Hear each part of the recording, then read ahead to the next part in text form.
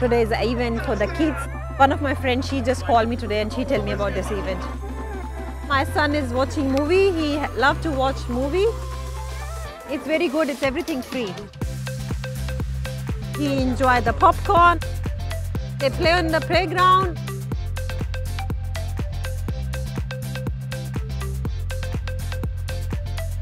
I also enjoy the coffee. I was like expecting to pay and she said, nah, it's free.